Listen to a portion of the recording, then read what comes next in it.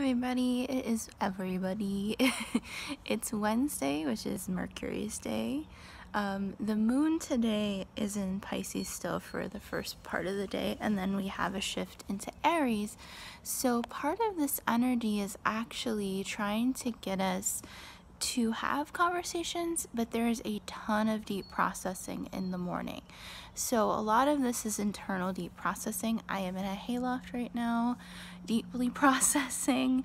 Um, but look at where Mercury is. Mercury is sextile to Mars. Um, Mars is in Gemini.